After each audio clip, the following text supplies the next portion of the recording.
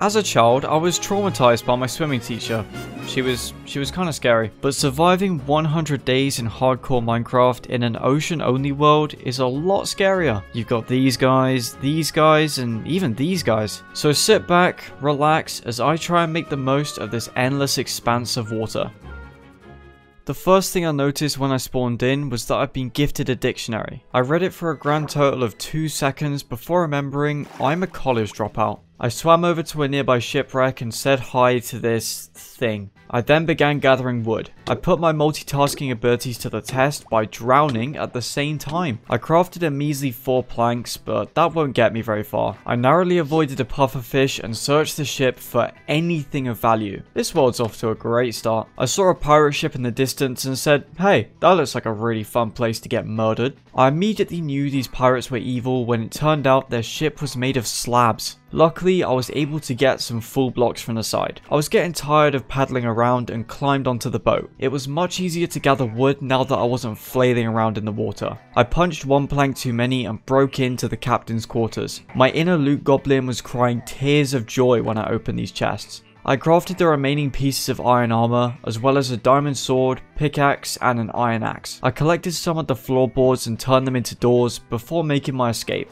Also, is it just me or do the drowned have the absolute worst hitbox when they're swimming? Either that or I'm just bad at the game, honestly probably the second one. I did some more really fun drowning which took me down to 5 hearts. I desperately needed to find food but the shipwreck said, what about some metal? I finally, finally remembered that oceans do indeed have fish. I was gonna check out this underwater ravine, but these shark monsters were definitely bad news. Instead, I placed down a trusty door and started digging myself a hole. It was a million times more annoying than usual because I kept forgetting that there was sand above me. I put my fish in the furnace, but they weren't cooking. Yeah, turns out you can only eat tropical fish raw. With Nemo and friends in my stomach, I went out searching for a more fulfilling meal. This cooked cod went down a little bit better. I made some charcoal for torches so that I could actually see and then began mining. Seeing as I didn't have a bed, this was the best way to pass the time until morning. I really didn't want to resort to living off tropical fish and headed over to the pirate ship. I was certain they had food on board and I was not disappointed. Hay bales had never looked better. They even had barrels with meat, baked potatoes, um, whatever this is, and seeds. I turned the hay bales into wheat and made myself a ton of bread. I also crafted myself a shield. I found a second treasure room and after chopping at everyone's ankles, I was able to get to the loot. I replaced my unenchanted helmet and leggings with my new ones and then got jump scared by an arrow. There was a smaller ship nearby and I made my way over. I started off by sending all the food into the ocean and then played peekaboo with a vindicator. I don't think he liked it very much. After getting headbutted by a drowned, I made my way onto the boat. Hey Ferb, I know what we're going to do today. Before I turn the ship into a bonfire, I crafted some shears and grabbed some wool from the sail. This whale was absolutely massive. Climbing aboard was going great, but with the help of my shield I was able to deal with the pillagers. Some people would fight these guys with honor, but I think I'll pass. Any moment now, they're gonna burn. Any second. Okay, I'm bored now. It was at this point that I realized setting fire to the ship I was currently standing on was the worst idea I've ever come up with. The loot was worth dying for though. I sailed away from the $500,000 in property damage I just caused. I saw a small island in the distance and headed over. There was a spawner, which I immediately took care of, and a golden apple in the chest. The view at the ocean was only slightly spoiled by the burning ship on the right. I decided to use the island as a temporary base and made a few chests in order to clear out my inventory. I began cooking some prime 12 ounce steak and cut down this palm tree. I tried to break the leaves to get saplings, but that wasn't going so well. We're on day 3 and my soul's already crushed. I could see this raft from a mile away thanks to its bright pink sail and made my way over. I decided to leave the spawner alone just to see what would come out. Eventually a pirate spawned wielding a terrifying wooden spoon. I found some raw cod as well as some illager silver nuggets. The entire raft was made of solid logs so I was able to get a ton of wood. Seeing as getting a sapling was looking extremely unlikely, I had to stockpile as much as possible. I picked up my DoorDash order of more steak and then set out to see what else I could find. There was an island with some palm trees and not much else. There was also a raft which had a year's supply of apples on board. I threw this jungle wood into the ocean where it belongs and then continued my travels. Before Before long, a spruce wood ship came into view and you best believe I'm robbing that. I found some bars of Illager silver as well as a few other bits and pieces. I could hear the rattles of skeletons and sure enough this boat was full of them. I laughed as everything burned, before remembering I wanted that spruce wood and I've just set it on fire. I tried to put out the blaze, but it was too late. I made a hole in the side of the ship and found a totem of undying in this chest, with the second containing ender pearls. I made my way home as the sun slipped below the horizon, and by the time I got back it was dark. I filled my inventory with as much stuff as I could carry, because tonight would be my last night on the island. Day 4 I set out with high hopes and missing legs for some reason. I found a shipwreck with a treasure map, as well as some moss blocks and bamboo. I was minding my own business rowing along when this orca decided to jump scare me. He's adorable though, so I'll forgive him. There was a pirate below deck and I wanted to get a better look. Out of all the things I expected him to do, shooting me was pretty high on the list to be honest. I decreased his life points to zero and then had a look through his belongings. He actually had a spare pistol along with some ammo. I saw a yellow creature in the distance and it turned out to be an octopus. I accidentally shot my boat which definitely didn't make me jump. I came across another spruce ship which hopefully wouldn't end up in flames. The loot's usually decent. Oh,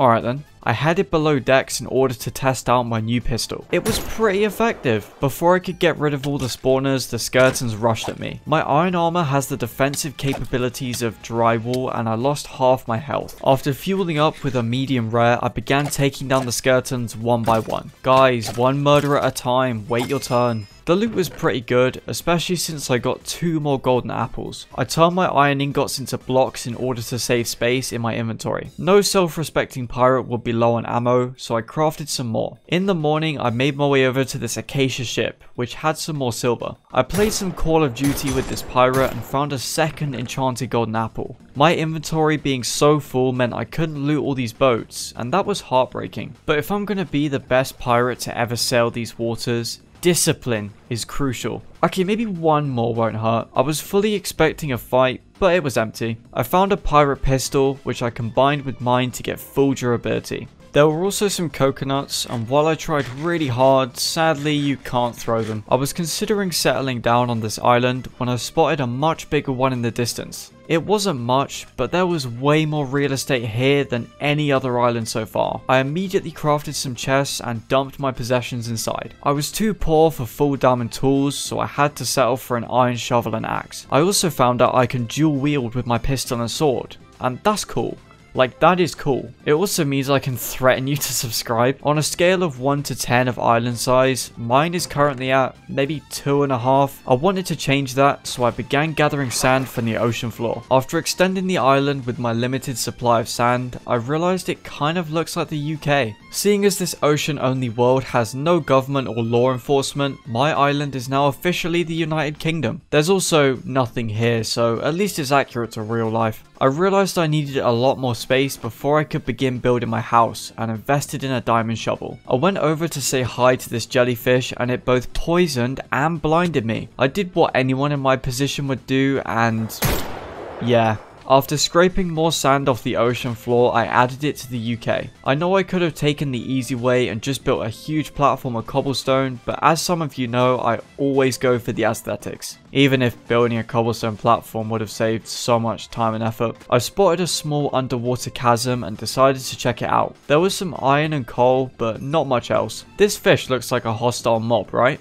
Like that is a hostile mob. Turns out it was a harmless fish, and he didn't even drop anything, and now I feel the crushing weight of guilt for a creature in a block game. I continued to gather sand, and once again got stung by jellyfish. I tried to get my revenge, but I couldn't find it anywhere. I wanted to check out this geode, but there was an entire meet and greet of monsters in there. After accidentally causing not one, but two creepers to blow up, the geode was mine. I discovered that this underwater cave went way deeper than I thought. I had my essential diving gear with me, you know, doors and nothing else, which kept my air supply topped up. This cave was kinda disappointing honestly. I didn't find a single diamond. I'm trying to be the richest pirate of the seven seas, not the poorest peasant. I wanted to see if there was anything near my island and set out in my boat. Hold on, I'd recognize that red and yellow color scheme anywhere. This is clearly a McDonald's ship. I climbed aboard and before long came across a customer who'd eaten the filet o fish. I went below deck and nearly died almost immediately. The pirates armed with cutlasses were not messing around until I blocked the staircase and then they had no idea what to do. I took out the spawner, but there was still a few pirates left. Ammo is extremely precious and I didn't want to waste it all fighting these guys. I ate a golden apple and rushed in to take out the final enemies. There was some cooked cod in this chest, which I'm sure would have been used to make more filet of fish. I also decided to collect the wool from the sail, because this world has absolutely zero sheep. I came across a small outpost and decided to invite myself inside. I stole a bunch of food and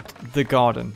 I stole the garden. I made my way on board the ship and began fighting the owners. Put it down. Put it down! The skeletons were kind enough to forfeit all their possessions to me, which included their ship. I took the sail, the mast, even the sides. As I made my way back home, I found something that shocked me to my core. A chicken. Why is there a chicken in an ocean-only world? This child wanted to come with me, but I said no. I only want the chicken. I sailed back home with my very first friend. You might be thinking, his first friend's a chicken. That's the saddest thing I've ever heard in my life. And you would be right, but he also serves as emergency food, so at least he's practical. Your best friend's not edible.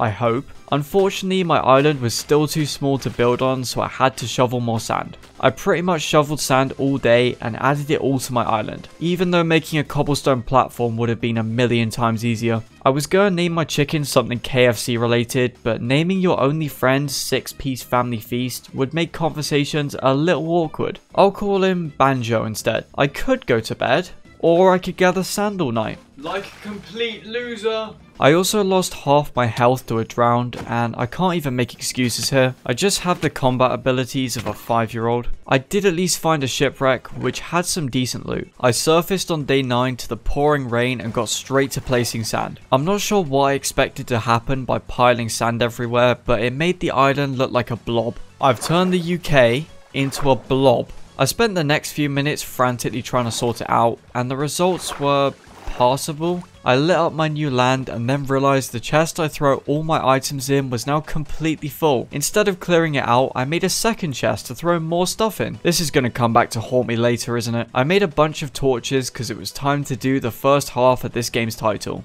You know, mine, Minecraft. Anyway, it went about as well as you might expect. I explored the flooded ravine I just dug into and found kelp. I found a massive pocket of dirt and I should not be this happy about some dirt. Ocean only changes a man. I mined some redstone, not because I have any actual ability to use it, but because XP noise make brain happy. I started strip mining for diamonds, didn't find any, and then flooded the mine again. The ravine I dug into actually connected to an entire cave system, and I mean, I might as well explore it. I mean, surely there's diamonds in here. There weren't. The flooded caves weren't going too well, so I decided to explore some slightly drier ones. This skeleton came out the shadows like he was Batman and I remained very calm and composed. As I swam back through the ravine, I realized it was full of those shark monsters from earlier. One of them used some kind of sound wave and then rushed straight at me. I bravely hid around a corner and whacked it until it died. It dropped a tooth and I don't think I'm cut out for this career. I returned to the surface and immediately threw all my junk, I mean items, in my chest. I wanted to get a sapling from a wandering trader so badly I sacrificed my own moral code. Time for that ugly cobblestone platform. The UK is not exactly massive, so I needed as much spawning space as possible. And when a trader does show up, he'll probably sell me everything except what I actually want. I also decided to reject the coordinate system and make a compass. Why? Why did I do that? It did make me feel more like a pirate though. Before long, I came across a ship full of dead guys and decided, yeah, I'll say hello. I managed to grab a diamond, but I'd need way more ammo to actually capture this ship. Or I could just go in anyway, I mean it's not like anything bad's gonna happen. Well, I am an optimist. I spent most of the night exploiting Sun Tzu's deadliest strategies, which included jumping and panicking. See, this is why you don't mine for diamonds. Just steal them instead. I blocked off the locker rooms and ended up finding the food storage. It was overflowing with melons and pumpkins, which gave me an idea. I turned some of the melon slices into seeds and tamed this parrot.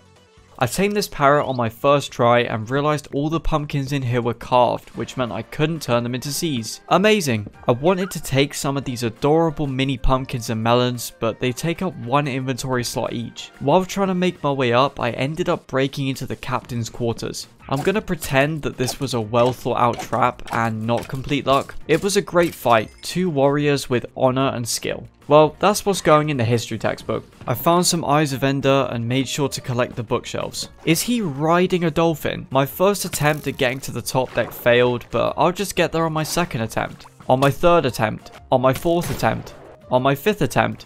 See? Told you. Maybe if we weren't all trying to murder each other, this would have gone smoother. Eventually, there were only two skeletons left, and they were having the most intense battle of their lives. In case you're wondering who won, it was the guy on the left. I hadn't actually looted the main chest in the captain's quarters and it had some diamonds, gold and enchanted iron boots. For some reason I decided to clear out the remaining skeletons even though I'll probably never come back here ever again. I sailed back home and before long the island and coral reef came into view. While dumping all my stuff I heard the sound of a trident being hurled at me. I've heard people say you can give them a nautilus shell and they'll drop the trident but it's either bedrock only or they're lying. I was tempted to combine these two chest plates together to get protection 4 but is it really worth spending 10 levels on iron armor? No. No, it's not. After that rare case of self-control, I used my last piece of silver to make more ammo. I replaced my white bed with a red one I'd stolen from the skeleton ship, because you can't beat the classics. Day 12, I crafted a new iron axe because it was time to go gather wood for my house. I almost immediately ran into an ocean monument and swerved around it, cause 5 minutes of mining fatigue would be about as fun as my old economics class. I came across a spruce ship, which was exactly what I wanted to find. Sadly, the crew wasn't health and safety trained, which led to a small accident. After collecting the usual iron blocks and enchanted golden apple, I started work on the ship. If these things weren't made of solid logs, I'd definitely be struggling. Once the ship resembled a destroyed shoebox, my work was done. I found another skeleton pirate ship, but I decided not to not loot it. That sounded way better in my head. I had a proper 1v1 against the captain, missed a lot of crits, but still whooped him. I got some ender pearls, a sharpness 3 book, and some more eyes of ender. And we can't forget the bookshelves. I made a hole in the ceiling in order to get to the chest above and then made my escape. Even though there's water everywhere, I still managed to take full damage. There was an island close by, as well as a huge fossil, which I'll definitely be defacing later. I called this island Banana Island in my notes, because let's be honest, it kinda does look like a banana. Anyway, I took the opportunity to finally gather sand that wasn't 20 feet underwater. I shoveled sand on Banana Island all night. I paid a visit to the fossil and it was even bigger than I thought. Judging by the advancement I got, it's safe to say it's the remains of a giant shark. Its head was buried under a mountain of sand and because there's no reward for getting it out, it's gonna stay that way. Did sharks evolve to have RGB lighting, or did I miss a page? I had a swim around the ribcage, your typical family fun, and then made my way over to these ships for more family fun. The wife and kids especially loved the robbery. I looted some decent treasure from this ship and then made my way to the back to collect the rest. I picked the wrong spot and accidentally destroyed the food supply, but I'm sure I'll never face the consequences of my actions. Oh look, the consequences of my actions. Usually I don't get hit a lot while stealing, which makes me forget that I'm basically wearing cardboard armor. I went back on board a changed man and immediately made the same mistake again. After fighting like Stuart Little by going for the ankles, I finally made the right decision and kept my distance. And what was the loot I nearly died over? Some diamonds, not bad, but fire protection armor? Quartz? I went over to this nearby island feeling sad. Not only had I lost my totem, I'd lost it over armor somehow worse than what I was currently wearing. I crafted a shield to fill the totem-sized void in my heart and then headed over to this raft. Wow, raw fish! I always wanted salmonella. I remembered that you can actually dig for treasure on these islands, and after evicting the owner from his own property, I actually found some. It wasn't exactly world-class loot, but I was kinda in a treasure hunting mood, so I went back to this island to take a look. It was a pretty long look. I ruined another local ecosystem, but still couldn't seem to find any chests. Instead of giving up and going to sleep, I decided I was gonna conquer another spruce ship. Those shark monsters, which are called thrashers by the way, just found that out, they were close. I really wanted to loot this chest, but I had negative inventory space at this point. I watched this orca bonk himself on the ship, and then began trying to decide what to throw out. I sacrificed some at the premium Banana Island stand and took the silver. I made some ammo and I was back in business. I had my get out of jail free card restored too, so I was in a great mood. As I left the ship I got an advancement, and apparently I've been blessed with Orca's might. You really couldn't have done that two minutes earlier. I ended up returning because I'd forgotten to actually collect any wood. I really wanted to get enough materials to build my base because we're on day 14 and I still don't have walls or a roof or any of the components that make up a house. My iron axe was on the verge of death but I gave him an inspiring speech about friendship. Well, he was a side character. I cleared out my inventory and ended up tossing my compass into the sea because, yeah, I never had any idea how to use it. I replaced the iron axe with a diamond one and it was like going from a Nokia to an iPhone 11. After putting half a pirate ship in my inventory, I set out to find more. I made a beeline for this acacia boat and the thing is with acacia is that you either like it or you absolutely despise it. Usually I wouldn't touch it with a 10 foot pole while wearing a hazmat suit, but I wanted to give it a chance at least. Do you want to hear something about palm wood that's going to completely ruin your perception of it for the rest of the video? I hope you didn't say no, because I'm going to tell you anyway. It kind of resembles cinnamon rolls. You're denying it, but you know it's true. I found one of the larger pirate ships and didn't want to spend too much time looting it. I headed inside, grabbed the goods, and dipped. I collected some more bright orange wood and saw a skeleton pirate ship, which I didn't loot. I was more interested in this ship that I'd never seen before. I climbed aboard, ready for the standard cakewalk, and then a boss bar appeared. Captain Stashu, wow, your parents must have really hated you. Nice bottles of enchanting. They're mine now. I'd blocked off the stairs so I was free to explore as I pleased and steal as I pleased. I peeked below deck and realized I'm in danger. I'm a man wearing tinfoil against Stashu's team of Navy SEALs, although they all share one brain cell and ended up shooting each other. I managed to get rid of the spawners at the front, but there were still plenty of pirates, more spawners at the back, and Stashu himself to deal with. I was able to craft a single silver ingot and used it to make ammo. The only thing I could really do to fight the pirates was by making them shoot each other. I got my first look at the captain and he looks like a statue for sure. I got my first hit on him, but it's gonna take a lot more than that to bring this guy down. He also got shot by his own crew, which I thought was pretty funny. I ate a cannonball to the face and then got knocked off the ship, which made me realize something. There's a massive hole in Stashu's ship, and he's up against Mozi, master of Stuart Little Taijutsu Jutsu. With my legendary ankle chopping technique, I decimated Stashu and his crew. I wanted to blow this creeper up to finish him off, but it didn't want to cooperate. Any last words? Just kidding, I don't care. The only problem with killing Stashu in the water was that his entire fortune now rested on the ocean floor. Or at least, I thought it did, but it actually floated up to the surface. The crew was having a mutiny over the treasure, and I got caught in the crossfire. One of the pirates actually dropped his cannon, but it uses silver blocks for ammo, so it's complete overkill. The back of the ship was packed with valuables, but there was one last spawner I hadn't been able to break. Worst of all, it was for the cannon pirates, which are by far the most likely to turn you into an involuntary organ donor. I dropped down some sand, which finally got me close enough to get rid of the spawner. From here, I was expecting some nice easy target practice. That was not what I got. I had about one second to react before I became a pile of ashes and swallowed an enchanted golden apple whole. My helmet and leggings had broken and my chestplate and boots were basically scrap metal. But what does a man without tinfoil do? He upgrades to solid diamond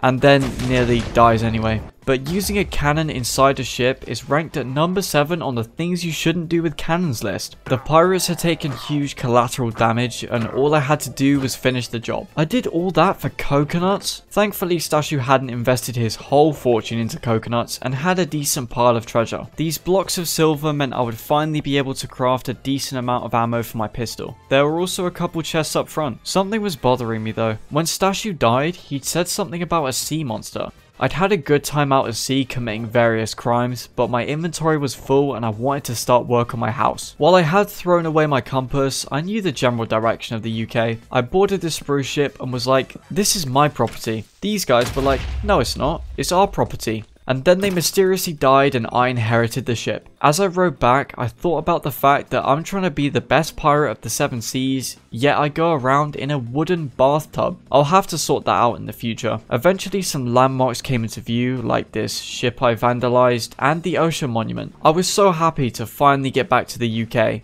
Said no one ever. My parrot was pleased to see me, still haven't named him yet by the way, and of course there was Banjo. I dumped as much stuff as I could into my chest, but they were starting to get really, really full. I needed more cobblestone before I could start building and made my way into my mine. I dropped the staircase down a level so that I wouldn't get severe head trauma every time I walk up it. While mining, I came across this random piece of obsidian. It turned out there was a small flooded cave here and I had to make a choice. What flavor of G Fuel should I order while mining obsidian? Using code MOZI for 10% off of course, link in the description. Shameless product placement aside, I did actually manage to get all the obsidian I needed. I continued mining and Brilliant. I explored the cave I just run into, but there was none of the blue we all know and love. Well, there was some blue, just slightly less loved. I was gonna head back to the surface, but I decided no. I'm gonna be a Karen. I'm not leaving until I see diamonds or the manager. yeah, I, I, gave up pretty quickly. It was nice to finally be out in the sun again and I wasted no time throwing several hundred tons of stone in the furnace. Instead of wasting my coal, I harnessed the power of natural energy. What, just because I throw things in the ocean constantly doesn't mean I don't care about the environment? I can't believe you'd assume that. Gotta start your house off with a plan. Always start with a plan that you change a thousand times because you aren't happy with it. I also realized I picked up Bad Omen 3 from killing Stashu and I can't get milk so I can't get rid of it. I love future problems. Unfortunately the sacred sign was in the way of the build so I had to move it. If I'd remembered to turn on replay mod we could have had a nice little time lapse but I didn't so we just have first person footage.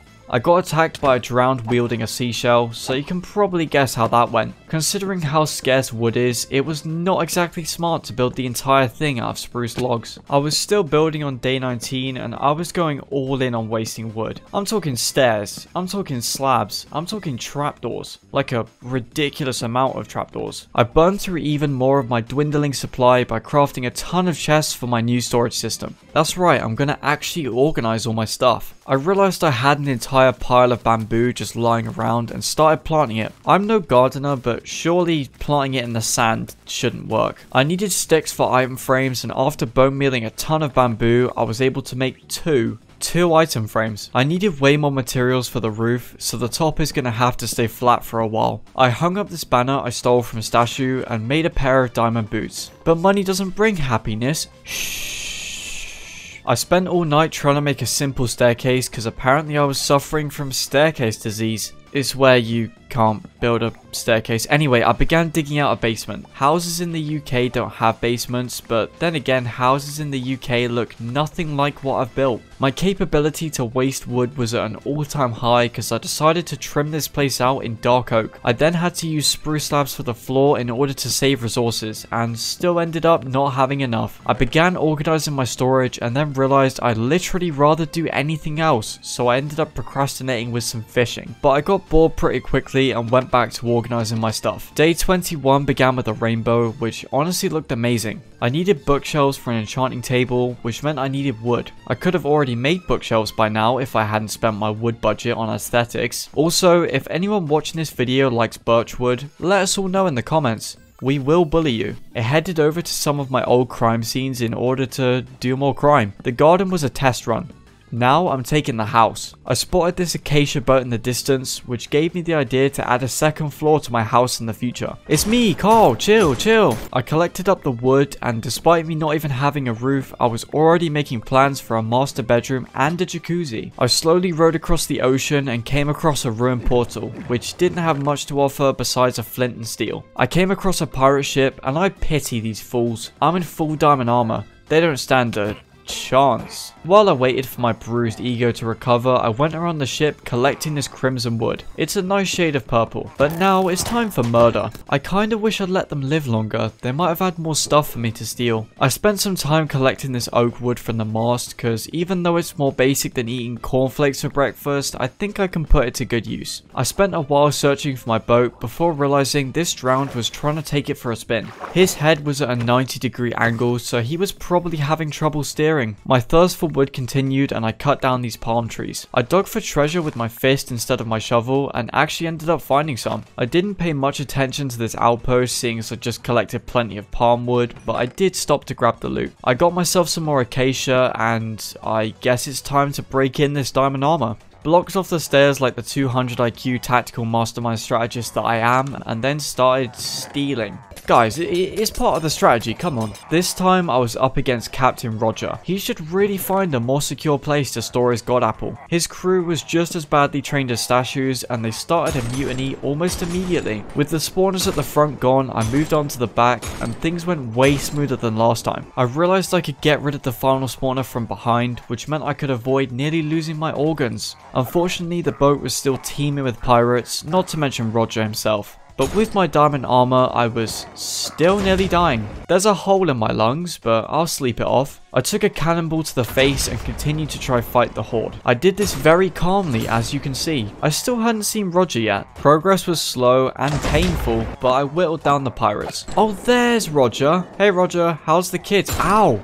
Ow! I started fighting him on the stairs, but this guy doesn't mess around. But I have something Roger doesn't. A ridiculous amount of golden fruit and an endless appetite. His health bar began to dwindle and soon it was almost over. He was shouting that Captain Albrecht and Captain Agmer would avenge him, but really, I'm supposed to be scared of a guy named Albrecht. I jumped down to finish the rest of the pirates off, but there were more than I thought. After getting my 5 a day purely from apples, I made friends with everyone, and there were smiles all around. Roger for some reason kept a diamond block on him, as well as a totem of undying he forgot to use. The treasure was amazing, as you can probably tell. It was a good day for my bank account. Unlike Stashu's ship, Roger's wasn't getting left in pristine shape. I took the front, the back, the sides, and all three of the masts. I was in dire need of a resupply considering how much wood I'd used on my house. Roger, you're dead, go away. I definitely should have gone home at this point. I mean I had more than enough wood for the bookshelves, plus a ton of loot. But I like robbing people, so I'll stay a bit longer. Although after struggling to fit the wood from this raft into my inventory, I realized I should probably go back. All I really had to do was follow the trail of destruction. The UK came into sight, and it is definitely a sight, I'll put it that way. I put my items away properly for the first time thanks to the new storage system. I crafted a way better pistol as well as plenty more ammo. It does a lot more damage than the previous one, just with a longer cooldown.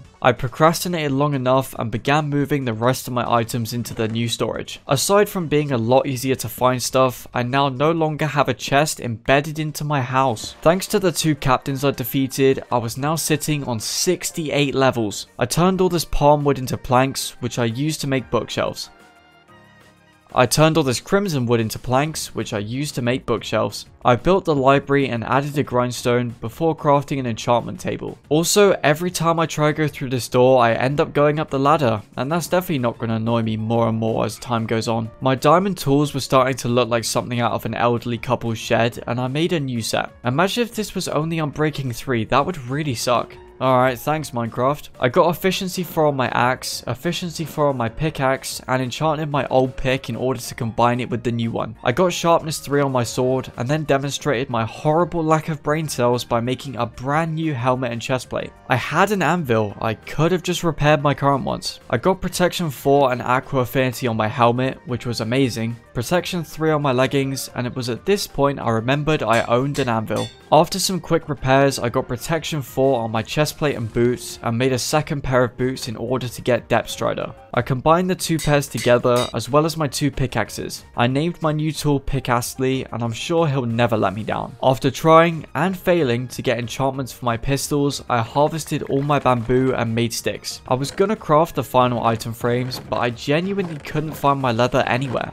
I searched all my chests, but once you start looking in your wood chest for your leather, it's probably gone. I made a quick trip down to my mine to grab some obsidian. Now that I had efficiency 5, I felt unstoppable. I wish my legs had efficiency 5, that'd be nice. After climbing up my staircase and punching bricks for some reason, I began building my nether portal. You know I had to flex with all four corners. I wonder what biome I'll spawn in. Maybe the Crimson Forest, maybe the Nether Wastes, or the worst biome in the game. To make matters worse, this blue thing started hurling his children at me, and now they're orphans. I decided to make the best of my atrocious spawn and started looking for a fortress. I mined up some quartz with Picastle and made my way through the wasteland. I played this really fun game called Jump Down and Try Not to Die. So far, I'm winning. I did some illegal poaching and ended up stumbling across a bastion. I towered up, but I was going to need to be careful here. If I took my own advice for once, then maybe my life expectancy would be above 20. I cleared out most of the piglin brutes, but I could still hear them everywhere. The reward was worth it though. I do love ancient debris. This Ghast was just trying to enjoy a nice lava bath, and I ruined his day. I definitely ruined his day. This bastion was a treasure bastion, which meant I was more than happy to risk the entire playthrough just for the loot. I got jump scared when I heard this piglin take full damage, but I was fine. I quickly lightened up when I realized just how useful the pirate pistol could be. Not only does it one-shot piglins, it also has massive knockback. What are you doing? With my enemies now residing at the bottom of this lava pool, I was able to collect their possessions without any trouble. Without much trouble. I found another piece of ancient debris and then saw myself out. There was no one to escort me out because A, everyone was dead, and B, this place is rated 1 star on Google Maps. I found these soul vulture things and they were incredibly annoying. I gave up trying to hit this Ghast fireball back and just shot it instead. I was still holding out hope for another fortress, but there was still no sign of one. Also, these shaders were not helping. The locals only spoke pig, but eventually a familiar structure came into view. Getting to the fortress wasn't easy, but me and Picastle didn't give up. I began the cycle of killing blazes and getting barbecued. Usually it takes me forever to find a nether wart room, but this time things went smoothly. That's definitely all my good luck gone for the year. I was trying to find a blaze spawner and it was not going well. Luckily there was a party on the roof which I immediately gate crashed. As a community have we never questioned why nether fortresses have horse equipment? I fought a few wither skeletons before finally coming across a blaze spawner. I heard more blazes nearby and it turned out there was a second spawner spawner around the corner. I started digging a tunnel to see if I could connect them. After a lot of mining and a lot of getting set on fire, I managed to link them up. If I was good at redstone and actually cared, then I could probably make a decent farm out of this, but I'm just here for the bare minimum. Once I had all the blaze rods I needed, I headed into this nearby warped forest to cut down some trees. What a surprise. This was the first time I'd encountered an unlimited supply of wood and I made sure to collect as much as I could possibly carry. With my deforestation of hell complete, I began making my way back to the portal. Which was easier said than done. Yeah, this time I'm hitting the fireball back. Um, how? How?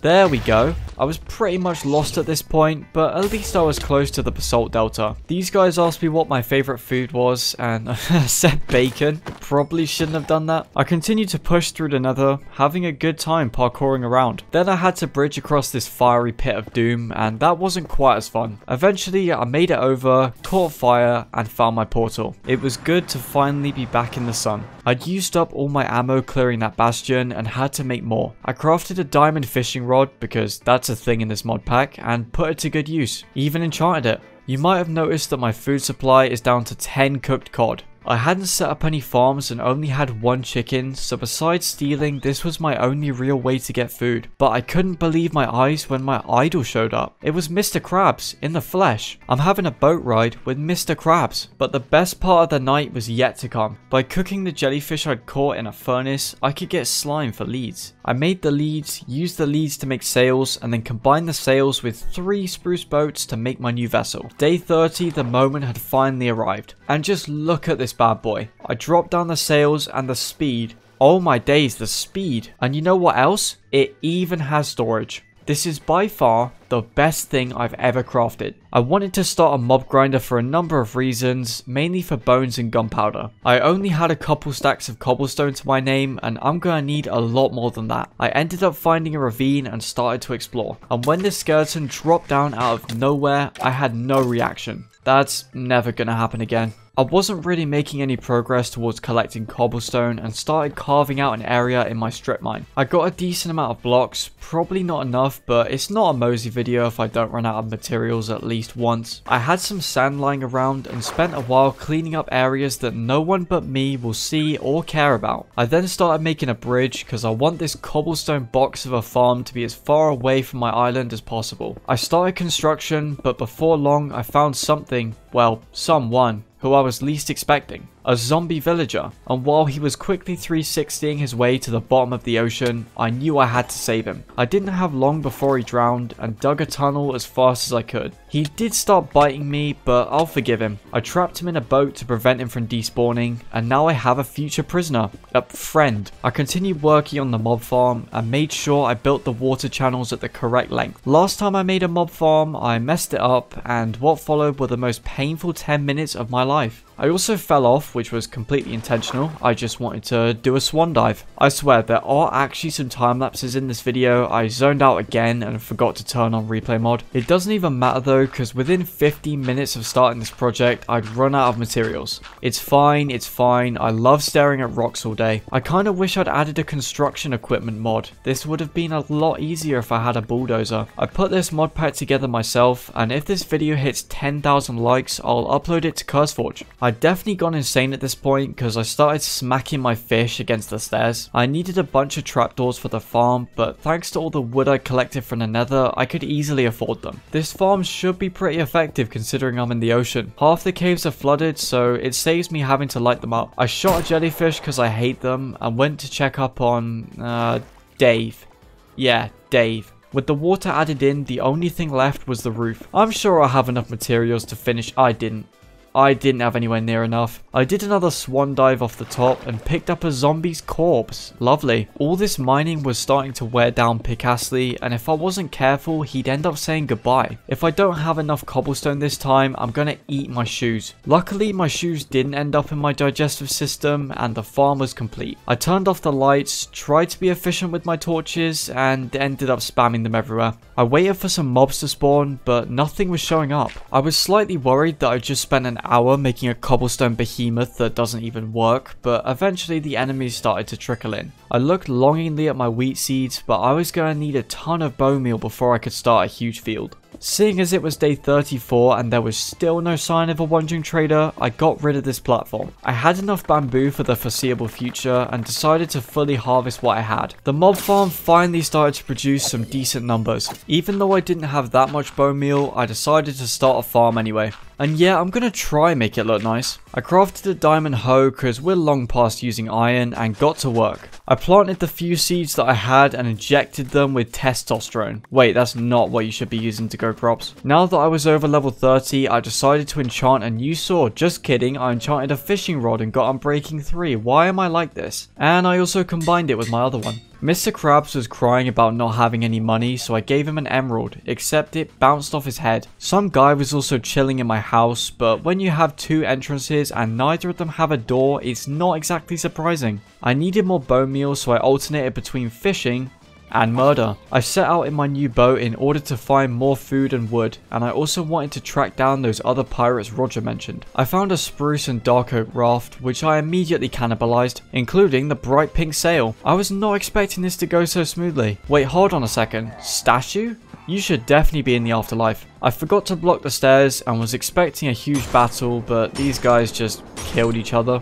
I couldn't be bothered to deal with Stashu and spent a while destroying his sail and looting his stuff. I was feeling pretty confident about the fight and put my pistols in dual wield mode. It doesn't get much better than fighting an undead pirate and his army of goons. Sadly, I started to run low on ammo, which meant I had to bring out my sword. I'm your best friend and that's why you're gonna drop me your trident. Oh come on, how did that not work? Stashu and what was left of his crew rushed at me and this guy clearly did not want a repeat of last time. But it wasn't me that killed him this time, it was his own stupidity. He literally blew himself up. Now that Stashu had gone out with a bang, uh, I'll see myself out. Now that Stashu was gone, I mopped up the rest of the crew, almost dying multiple times in the process. It was so nice of him to come back to life and get all this treasure for me. I loaded up Shirley, yes that is what I'm calling this boat from now on, with treasure, and then happily got to work destroying Stashu's ship. It might seem pointless now, but when I need netherite, this wool is going to be a lifesaver. And of course we can't forget about the oak wood. It's such a small detail, but I noticed that when Shirley has a ton of items, these mini chests appear at the front, and that's adorable horrible. I did some more exploring, broke some spawners, broke some bones, and booked a hospital appointment. I got this really cool shot of the sun setting as I sailed along, and it made me feel like I was part of a movie.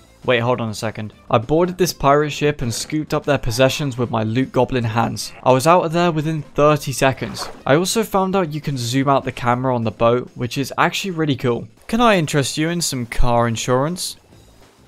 I'm gonna keep staring at you until you buy it. I found a second shark fossil and this one actually had a visible head and visible loot even if it was kinda bad. I found an acacia boat and the one pirate on board had no chance of keeping his property. It's standard stuff, take the wood, take the sail and disappear before the cops show up. I can't emphasize enough how useful Shirley's storage was. Usually half this stuff would have ended up at the bottom of the ocean, but now I can actually keep it all. I'd been looking for a spruce ship the entire journey and finally found one. The size of my boat meant this drowned looked like a 7 year old whose parents accidentally left him in the car. Day 38 I was chopping wood again. That second floor of my house isn't going to appear out of thin air, although I really wish it would. I mean, this is a crime, but is it really a crime when there's no government to stop me? I stopped off at this island and instead of breaking the spawner, I decided to fight whatever it produced. It spawned a guy. I found a pufferfish in this chest, and while I despise these things, I decided to do what was right and set it free. Did you just poison me? Right, welcome to natural selection. You deserve that, you stupid yellow bowling ball. I started heading home, only stopping for one more episode of British Man Kills Things and Chops Wood. It's a great show, but Netflix cancelled it in order to make the 35th season of Grey's Anatomy. I arrived back home and I'm not gonna lie, this treasure chest is starting to look pretty stacked. And the wood chest, don't even get me started on the wood chest. I had 52 levels and instead of enchanting another fishing rod, I actually used them like a mentally stable person progress. I spent a lot of levels trying to get a better sword and got one that was almost perfect, but it had knockback so it's going in the grindstone. I wanted to combine these two helmets together, but my main priority was a sword. I decided to work on it later and instead went for sharpness 5. My mob grinder still wasn't as fast as I wanted it to be, so I went on a mission to light up the nearby caves. All I had to do was dig towards the sounds of monsters and sooner or later I'd hit a cave. This one was terrible, but that's besides the point. Because everything was mostly flooded, I'd find these tiny pockets of dry land absolutely crammed with enemies. I came across a geode that had a ton of amethyst, amethyst, purple crystals. It had them and I collected them. I also collected this copper, which I wanted to build with at some point, but will just end up throwing in a chest and never touching again. As I returned to the surface, it was incredibly depressing to see my house be absolutely dwarfed by a cobblestone mob farm. It was even more depressing to find out Mr. Krabs had left. You'd never leave me, right Banjo? Right? I lit up another geode and was gonna sleep, but I could hear a skeleton somewhere. I slowly caused the entire island to crumble as I hunted for one singular skeleton. Why? Just why? I also tried to fill in the hole with sand, which is by far the dumbest thing I've ever done. After patching up the UK, I went over to my mob grinder and saw another zombie villager. I broke him out, grabbed a boat, and managed to trap him. He needs a name. Hmm. Dave 2. With all those caves now lit up, the mob farm was working a lot better than it used to. I also replaced this dirt with cobble because it was making the grinder somehow look worse than usual. I found a potato that must have been dropped by a zombie and added it to my field. I needed a spider eye and spiders don't die in the farm much thanks to their ability to climb. So I had to make them die. I crafted my first brewing stand but I needed glass for bottles so I went to the mines to collect fuel. I wanted to make weakness potions in order to cure Dave and Dave 2 which is is my first step towards world domination, I mean towards creating a happy, thriving community. Seeing as my mob grinder was now producing more than 3 items a day, I had enough bone meal to grow all the crops and fill out the farm. I made a fermented spider eye using sugar I'd stolen from a skeleton ship and a brown mushroom I'd picked in the nether. While I waited for the weakness potions to brew, I began expanding the farm. Well, I added a nice path, but I did actually make a section for potatoes. A bit of bone meal and a fortune pickaxe go a long way. Now I can finally feed myself without stealing. The potions were ready, but before I killed the villagers, I made sure I had plenty of ammo. I was still cursed with Bad Omen 3, and once they were cured, a raid would instantly begin. Day 42 had barely begun and they were already cured. I was gonna go witness the birth of civilization, but I kinda wanna build a roof before I get sent to my grave by a Vindicator. Is the roof super overcomplicated? Yes. Does it use way too much wood just for a roof?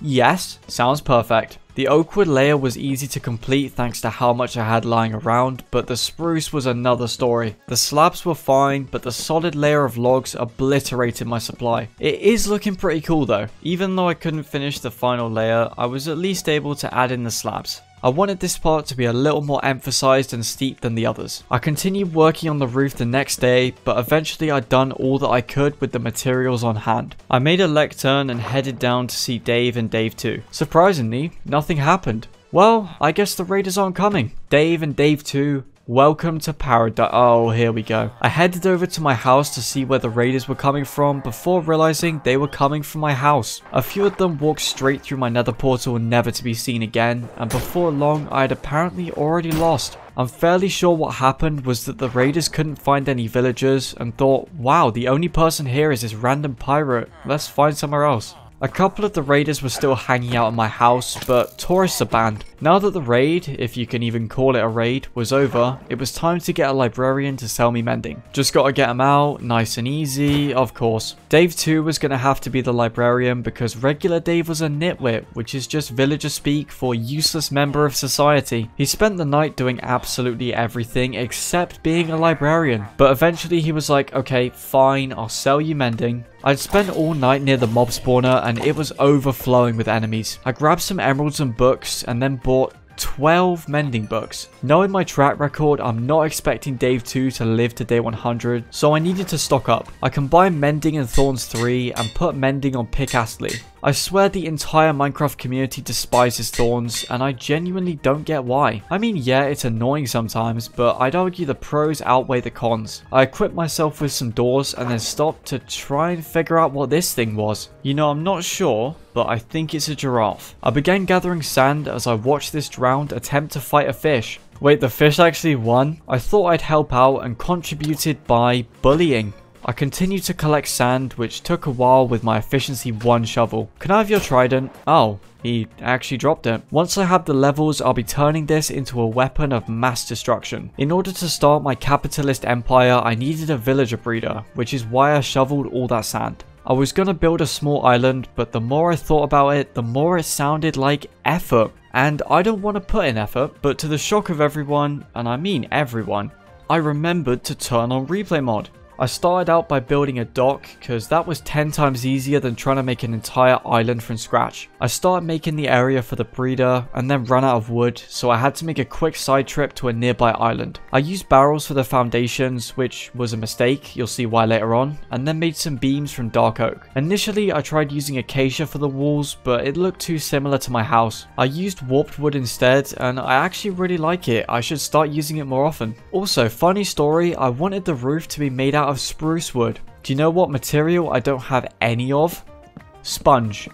But also spruce wood. I added this railing all around the breeder, not because I care about the villagers' safety in any way, but because I like the small details. I shot a jellyfish because he deserved it for existing, and added some dark oak fences to these wooden pillars. It looked really bad, they just looked like string cheese. Started off day 48 with some murder, and then finished up the railing. The wool supply was starting to pay off, and seeing as this is magenta, it's most likely from Stashu's ship. Imagine being a pirate feared the world over, and then some random guy uses your safe sails for bed sheets. The villager breeder had almost everything it needed apart from, you know, villagers. Getting these two up to the surface was gonna be a massive challenge, is what I would say if I didn't have the power of science. After dropping down some sand to create a temporary chute, I dug straight down and broke right into the, the Dave residency, I don't know. By using the completely logical ability of science to block the water, and using Kelp to turn all the flowing water into water sources, I now had a bubble elevator. I wasn't about to let the villagers walk free because what do I look like? A generous person? The mob grinder had once again filled up so I cleared that out and then saw I had a visitor.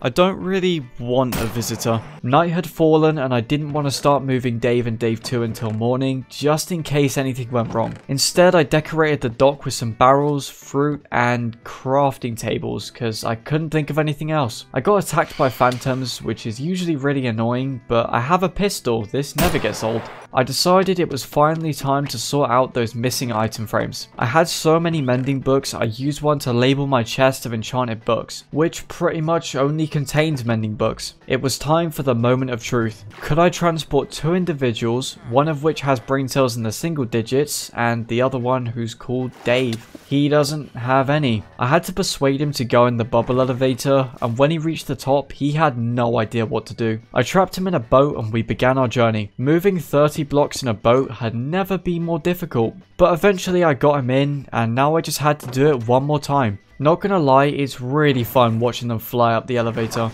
Everyone was in place and there were smiles all round. I think. These guys don't really show any emotions. I didn't have a use for the bubble column anymore and blocked it off before harvesting all my potatoes. If I was going to get an easily exploitable population, I was going to need a lot of crops. As I was planting some seeds, I found a knockoff Mr. Krabs. He'll never replace the original, but he's better than nothing. I was going to donate 7 months of food to the villagers, but they were fast asleep with their eyes wide open. Oh well, might as well head to bed myself.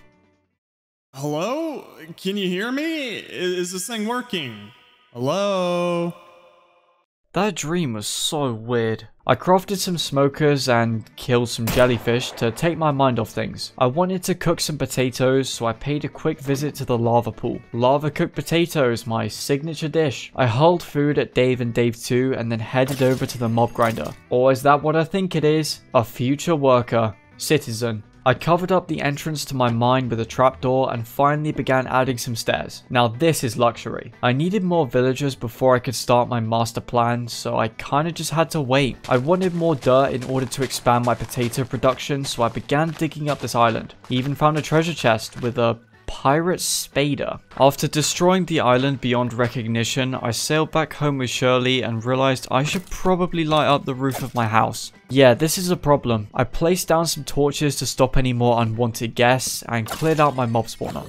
I really need more levels. I harvested my crops and then jumped on the farmland. I did that because I wanted to make a better looking path. I'm not insane, I swear. I did actually add that dirt from yesterday and used it to make a much bigger field of potatoes, as well as adding another row of stairs to the temple entrance. These children are going to be the key to my empire. Yeah, must have been the wind. I was still obsessed with making this farm look absolutely perfect and added a completely pointless dark oak fence. I was slowly gaining levels, but it was taking forever. The villagers now had their own police force, but that's fine. I'll get rid of him later. I set out on Shirley in search of the remaining pirate captains. If I defeated one of them, I'd be swimming in XP. Yeah, it's not for a noble cause, I just want to be rich. Oh, this is your raft. Are you sure? Well, he changed his mind, probably because he's dead, but let's not nitpick. Before long, the familiar shape of a captain's ship came into view. I tried to board and immediately got attacked. I think, eh, we just got off on the wrong foot. You got me explosives for Christmas. You shouldn't have. No, like really, why would you leave these out? I was dealing with Captain Albrecht, and as far as I can tell, he's not the brightest. Although he is the first one to actually trap his chests, this poison was incredibly annoying. This is about to be such a good prank, they'll never see it coming. Okay, why is it not falling down? Things were going pretty well until they weren't. I could barely hear myself think over the sound of 20 pistols firing at once. I shoved in golden apples as I was on my deathbed and absolutely booked it for the stairs. I should not have survived that. I got my first look at Albrecht and his strategy was to sit there and die. How did this guy become a captain? He also dropped virtually no XP, so thanks Albrecht. I'm so glad I risked my life trying to fight you. I had plenty of TNT and spent a while blowing stuff up and getting launched 40 feet in the air. Multiple times. Also, you'd think I'd have learned my lesson with this ledge, but no. I hadn't. It took a while, but eventually all the pirates and random creepers had been dealt with. I collected the usual blocks, but more importantly, I found a silk touch book as well as some name tags. As I made my way through the ruined ship, I couldn't help but think about the name those pirates have been chanting. Agmer. Day 53, I found this child on my boat, and then I did nothing. Anyway, I stashed my loot and then got to work cutting wood. I can't just leave all this dark oak sitting here. I headed back home and, oh, I'm in mortal danger. Everyone was panicking and I was like, guys, it's fine. Here's a roof. Why have you picked now of all times to be difficult? Unfortunately, me building the villager breeder meant the raiders had a clear target and weren't gonna leave like last time. Thankfully, they do all need armbands to swim, which makes them a little easier to fight. They kept spawning on the mob grinder and falling off, which would have been hilarious if there wasn't a massive ocean to cushion their fall. In between waves, I took the opportunity to get some easy XP. Did he just push his mate off? Thanks to me relying on it 24-7, my pirate pistol was beginning to run out of durability. Once there was only a few raiders left in the wave, I crafted a spare. This Ravager was just minding his own business, but I did what had to be done. Why am I feeling sympathy for a Ravager? What is wrong with me? The waves had so far come from the top of my mob farm, but the next one was right on my doorstep. Well, I don't really have a doorstep, but you get the idea. A pillager was trying to use knockoff Mr. Krabs as a hostage, but that's not happening. Night was well underway, and I didn't really like the idea of getting blown up by a creeper while trying to fight off a million other enemies. As I was greeting the next group of tourists visiting the UK, I heard the sound of an evoker. I rushed in to try unalive him, but this guy's bodyguard had a bodyguard. This Ravager headbutted me, so I have absolutely zero sympathy now. You deserve this. Get out the pool, we're closed. The next wave started, and wow, that's one way to end your bloodline. Everyone's significant lack of swimming ability turned what was supposed to be a brutal assault into some easy target practice. Except things took a turn for the life-threatening when the raiders remembered their ability to walk. Number one rule when you're invading, don't trample on a man's potatoes. It will push him over the edge. The Ravagers were gone, but I now had a new problem on my hands known as an entire extended family of Vexes trying to kill me. Things went from bad to worse when I realized my boots were on the absolute verge of breaking. I ran to my house to try and fix them, but that clearly wasn't an option. Well, at least there's no jellyfish. Okay then. As soon as my boots broke, dealing with this many Vexes would be a death sentence. There was only one thing I could do. I swam as fast as I could to Shirley and grabbed my diamonds and iron. They were still hot on my trail so I was gonna have to act fast. I crafted an anvil, chucked my boots in and fixed them up. Let's try this again. It wasn't easy and I took a lot of damage doing it, but slowly the army of demon babies began to fall. I was like whoosh and now I was like bang. Don't you dare try and summon more. This Vindicator was looking lovingly at Banjo, but he's my best friend. There was one raider left, but I couldn't seem to find him anywhere. But after all I'd been through, I wanted that Hero of the Verge status. Say goodbye. Oh, there's another wave. I was trying to combine these two helmets together when I heard what sounded like really bad beatboxing. Turns out knockoff Mr. Krabs was dying because he was drying up. Wait, did I accidentally kill the original Mr. Krabs? The Vexers showed up again and got exactly what they deserved. All that was left to do was clean up these Ravagers. No hard feelings, except there are because I hate them. Not as much as the Vex though, I'll give them that. What's that? Spare you? How about no? Did a little bit of jumping around to celebrate. Get away from my KFC. I mean my friend Banjo. I sorted out my inventory, dealt with the trespasser, and checked up on the villagers. They somehow weren't dead, it was a miracle. I wanted to put these beds back, but this iron golem was just committed to causing me problems. I said fine, have it your way, and lined up the shot. Funny enough, he changed his mind. Even though I'd had to spend my hard-earned levels on repairing my boots, I still had enough for one level 30 enchantment. Always Unbreaking 3, you always gotta gamble Unbreaking 3. Okay, please never listen to my advice. I did at least get Riptide, which meant I could do this. That is pretty cool. This child had a trident too, but there can only be one. So he's selling one bookshelf for one emerald and one book for one emerald. Time to exploit his terrible business plan for all it's worth. I was trying to click on him and accidentally did this, and I was expecting the Iron Golem to start throwing hands, except he didn't care. In fact, no one cared, but hey, I'm not complaining. I broke down the bookshelves I got from day 2 and sold the books back to him for some great profits and XP. These fishermen gave me some raw cod, but after throwing it into the ocean I saw a cat, so I immediately picked it back up. But she wasn't interested in fish and instead chose to visit hell. Well, I guess I better go save her. Oh, Actually, what? I made a run for it, but these gross blue things showed up at precisely the wrong moment. They knocked me into the lava, and in the moment, I decided to eat a god apple. It was complete overkill, but after stepping into the nether and finding it full of pillagers, my heart rate was not exactly at a healthy speed. After dealing with some very confused raiders and watching the cat nearly delete its own existence, I was able to tame it. She was definitely done with the nether. She walked straight to the portal. I climbed down this ladder, climbed up the ladder, and then disenchanted my trident.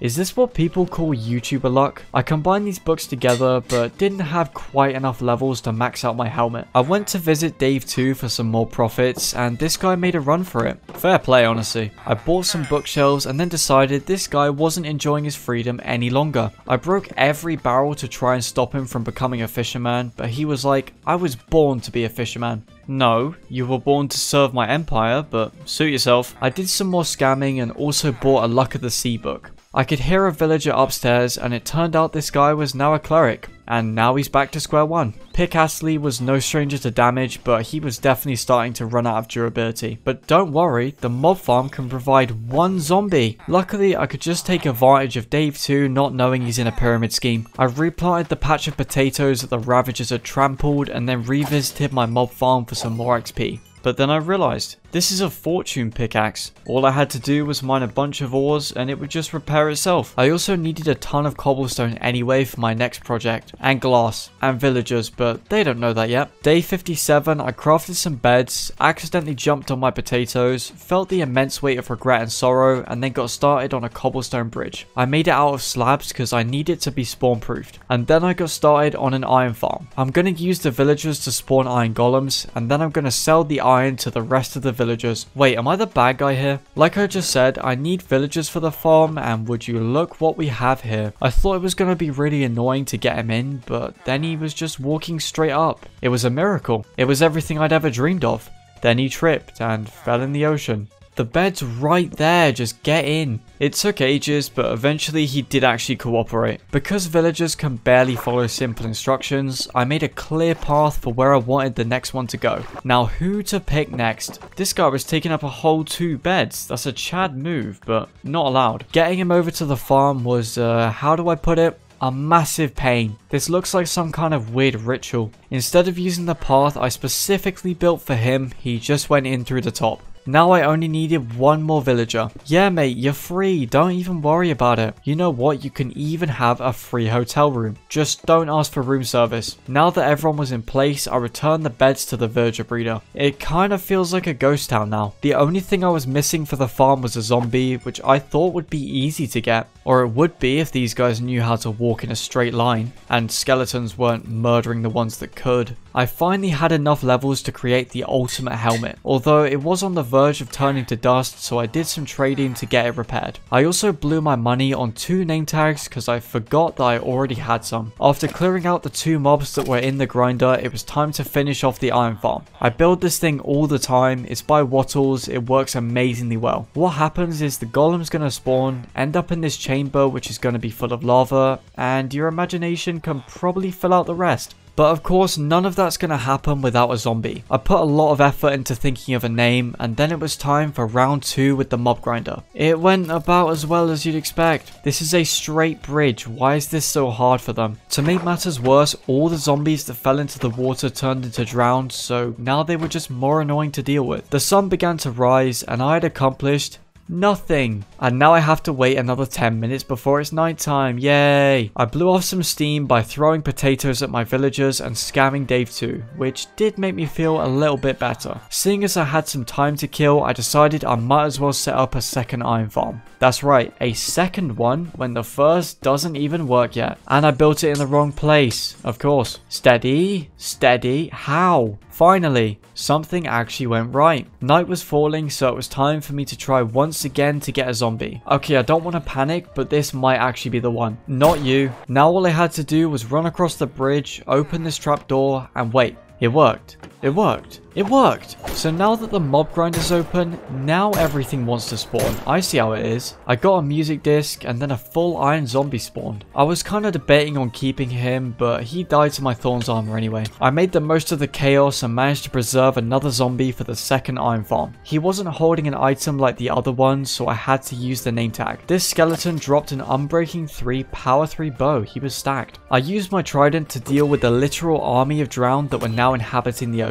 I also tried to sleep next to a zombie and I'm not sure why I thought that would work. I needed lava for both iron farms so I collected some from the usual pool. Last time I tried to make an iron farm, I built it wrong and ended up turning the lava to obsidian multiple times. Thankfully, I learnt from my past mistakes and this one was now fully functional. I went to the villagers to tell them the good news and they're escaping, they're escaping. Realistically, Dave, where are you gonna go? Your options are me or Agmare. Dave 2 had jacked up his bookshelf prices, but I bought them anyway. I'm not making any profit, but I'm still getting XP. And of course, Dave got himself stuck in the boat with the zombie and now needed me to save him. I put mending on my leggings, but I wasn't saving Dave just yet. I built the zombie chamber for the second iron farm so that I could set Dave free and not waste a name tag zombie, but there was a slight problem. I got them out the boat to try and separate them, but Dave was just being useless. See, logically, I don't need Dave anymore, I have more villagers. But I can't, I can't just kill Dave. Well, I could, but I do somewhat care about him. For some reason, the iron farm wasn't working. But then I remembered this one missing block, and mmm, melted iron. I got started on the second farm and also Dave had turned back to his normal self. I scammed Dave 2 like normal and then got back to work.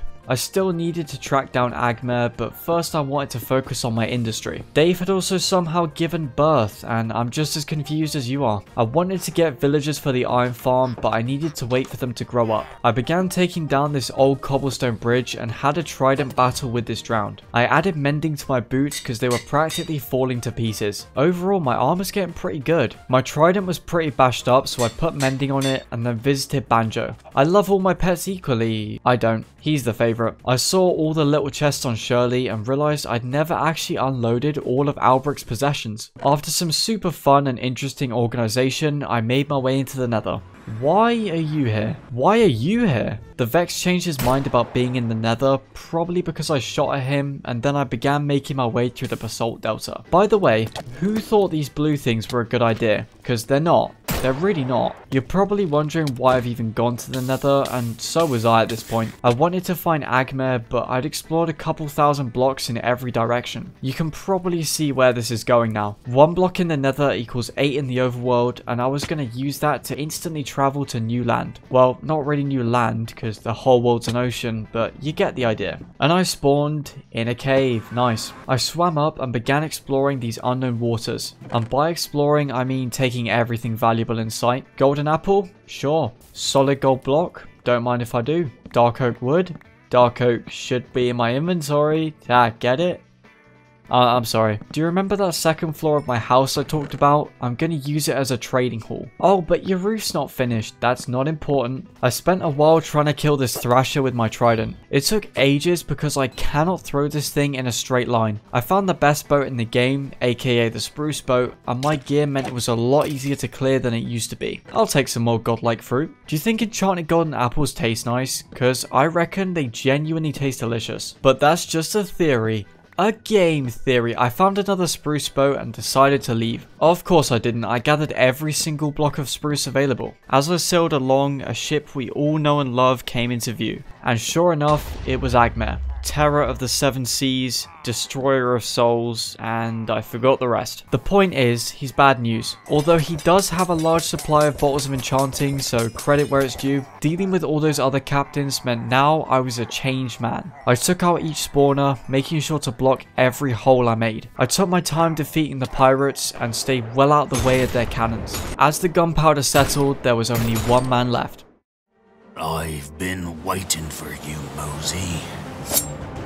Stashu, Roger and Albrecht, they couldn't defeat one pirate all on his own? Well, you want something done, do it yourself, I suppose. You're gonna lose like the rest of the magma, trust me. Lose? Me? My boy, I've roused the demon of the ocean from her slumber. Do you have any idea how powerful I'll be? That sea monster Stashu mentioned. I should have known. I, Agmare, will rule the seas and crush your pathetic island. Really? In Insulting the UK? That's my job. There was treasure everywhere. It was like a trail of pure gold breadcrumbs. That sea monster, it can't be that bad, right? I mean, it's not like you said he would rule the ocean with it. Everything's gonna be fine. I'm gonna die, aren't I? With Agmare gone and my inventory full of loot, I decided it was time to return to the portal and make my way home. It took me a long time to find the opening to the cave because I'm just kinda dumb. Once I was in the nether, I sniped the skeleton off my bridge before he could do the same thing to me. I was looking forward to a few days of relaxing, the fight with Agmir had been pretty difficult. Please no. I dealt with a few of the raiders, but then I had an idea. If I just ignore them long enough, they just leave. So here I am on day 65 casually sorting out all my loot from earlier. So you're telling me there's a task force of enemies who want to kill both me and all the villagers? Nah, surely not. Things are pretty quiet around here, I might as well work on the roof. I was actually really happy with how it turned out. I'd never built in this style before, but it came out exactly how I wanted and I finally started building the second floor. It turns out ghosting your mortal enemies actually works. There were still a few trespassers and then there weren't any. There was only one pillager left and he was definitely the main character. He dodged that, then he dodged that, but he couldn't dodge that. I wanted to put my 47 levels to good use and made a new pair of boots and a sword. I was missing feather falling as well as looting and sweeping edge. I got none of them. Actually, I did get sweeping edge, but it came with knockback, so no thank you. Even though it wasn't maxed out, I added mending to my sword and then built a ladder up to my future trading hall. I was pretty much out of spruce wood and had to use slabs as much as I could. In case you're wondering why I didn't just use the roof at the first floor for the villagers, is cause hearing ha and hmm all day would probably drive me to the depths of insanity. Production at the iron farm was going well, but in order to exploit the economy, I need an economy to exploit. I crafted some rails and smithing tables and began building a roller coaster with no ulterior motives. Come on guys, when have I ever had ulterior motives? And now the ride's complete, so let's get our first willing participant. Wait, wait, wait, wait. After a lengthy health and safety lawsuit, the ride was working as intended. Welcome to your new home. I hope you like it because you're going to be here for a while. How long exactly? Well, that's for me to know and you to discover. For some reason, the other villagers didn't want to go on the roller coaster, but that's fine because they don't have a choice. After moving a few more villagers, I had to go myself. As a completely unbiased person, I rate Mozi Theme Park a 10 out of 10. Not everyone was having a great time, such as this guy who made a run for it. He was going towards my bed, and once I broke it, he was like, well, what's my life purpose then? Your purpose is to make me money. My goal was to get an entire hall full of toolsmiths who'd happily buy all my iron. At an extremely inflated price, of course. Day 69, that's not funny, I found a skeleton hanging out on my roof, so obviously I had to deal with him. What happened to my trident here? I began doing business with the toolsmiths and apparently got my first stone pickaxe. I never actually made one because I went straight to iron after robbing people. I needed to make sure all the villagers had the coal trade before they all turned into zombies. Turning into zombies? I wonder why that would happen. I threw all the stone tools into the ocean and then started brewing some water breathing potions. I blew more money on name tags because I still hadn't realized I already had some. I used them to name all my pets. Of course we got the legend himself, Banjo, but we also have Lewis the parrot, Ridley the cat,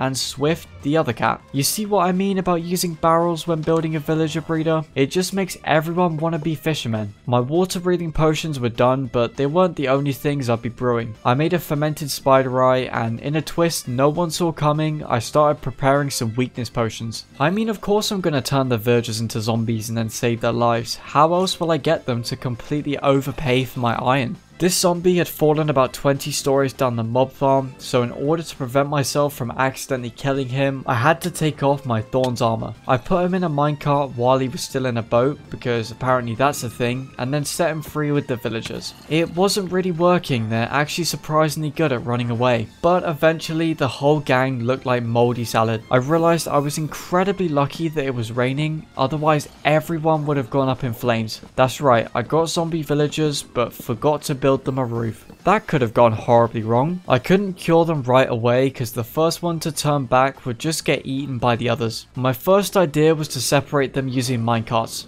That went horribly wrong, as did my attempt to save him. I eventually got them all into boats and while it wasn't perfect, at least I could now deal with two at a time rather than five. I blocked up the hole in the mob grinder, stepped on some potatoes, stepped on more potatoes, and then began curing the villagers. I can't wait to scam them. I mean, I can't wait for them to be happy and healthy.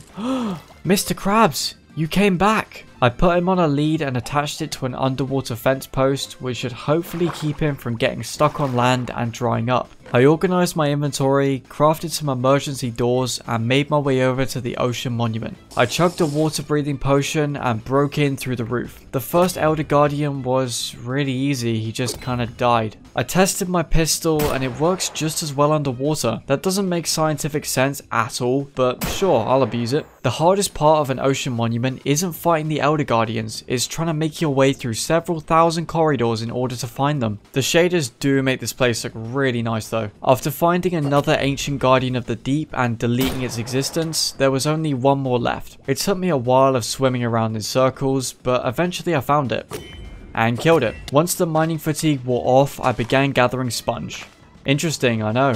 I began swimming back through the maze, but then I remembered I can cheat now. After smashing my way through several walls of this sacred temple, I finally found the center and collected the hidden gold blocks. Instead of finding the exit, I made my own and then swam over to Shirley. The next morning, I grabbed all the iron from my farm, cleared out the mob grinder, and rode the roller coaster to the top of my house. That last part sounds like something a little kid would say to impress his mates on the playground. You know that one kid that was always lying? Like, yeah, my house has a roller coaster, shut up. Anyway, once the villagers learned it was me that saved their lives from whatever caused them to turn into zombies, they basically began handing me emeralds. One iron for an emerald. Is is that even legal? In order to level them up, I had to buy more stone tools, and getting rid of them was easier said than done. I then moved all the cured villagers into their own section. I only had one weakness potion left, so I had to start curing these guys before I split them up. Although they just refused to separate. Every time one of them got in the boat, the other jumped straight in. Once I finally got them in their own boats, I harvested all the potatoes that I'd neglected for several weeks. I needed more workers, so I visited the bridge breeder and then hurled raw potatoes everywhere. My treasure chest was getting pretty full so I crafted some emerald, gold and iron blocks in order to save space. You know, all I'm saying is you don't see Jeff Bezos with 104 blocks of solid gold. All the villagers were cured which meant I could free them from their boat imprisonment. I mean they're still in prison, just not in boats. I had one water breathing potion left and decided I might as well use it. That's right, I'm gathering sand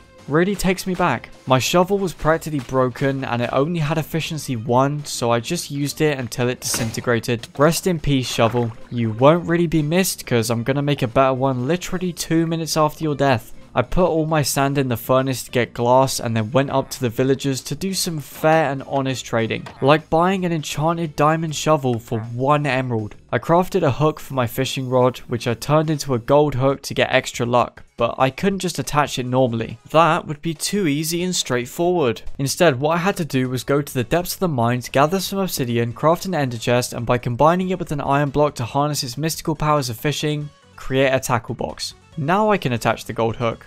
That makes sense. I had a decent amount of levels thanks to all that trading from earlier and decided to see if I could finally get feather falling. And I didn't get it. I swear I'm allergic to this enchantment. I made the ultimate fishing rod and called it Rodney because I thought that was hilarious and then put it to good use. I immediately got a pretty good enchanted book. Thanks Rodney. The reason I was even fishing in the first place was because I'd heard a myth from the villagers about the lost Neptunium tools but that's just a myth, right? Oh, okay, they're completely real. Oh, okay, they're completely overpowered. Rodney, we need more. I found another box soon after with a Neptunium chestplate, but it had the same stats as Diamond, and I wanted to upgrade to Netherite anyway. I fished all night, even changed my spot, but didn't manage to find any more gear. It was business as usual, collecting the iron from the farm and selling it off at eye-watering prices. But the one iron farm alone wasn't supplying enough. I needed that second one up and running as soon as possible. I couldn't really do anything about that until night, so I grabbed all the glass I'd been smelting and turned it into tinted glass. This is what my diamond shovel died for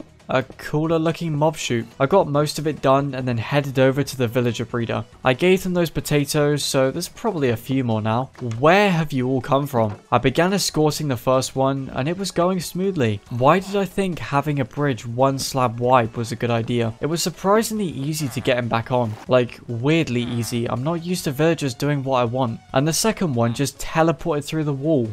Alright then. I thought surely the third one's going to make my life difficult. But he also just went straight in. I'm so confused on what I did to deserve this good luck, but I'm not complaining. Now that all the villagers were in the farm, all that was left for me to do was to actually finish it. It also poured with rain the entire time. I didn't actually have enough materials to finish the farm and ended up having to gather more cobblestone. I ended up coming across some more diamonds though. Four diamonds into nine? Sure, I'll take that. When I returned to the surface, it had finally stopped raining and I began ripping off the toolsmiths. They kind of looked at me like, hey, we want our money back, but sorry, no refunds. I put that in the terms and conditions because nobody ever reads those. I needed night to fall so that I could get a zombie, so while I waited, I finished decking out the mob grinder with tinted glass. After smacking some ankles, I eventually got this guy all on his own, and he was just as terrible at walking in a straight line as I expected. By some miracle, I managed to get him up to the farm, and soon everything was in place. Except this iron golem, because he decided to show up early. You're supposed to wait until there's a pool of lava to kill you. I began building a super fun water slide and stayed up all night working on it. I'm tired.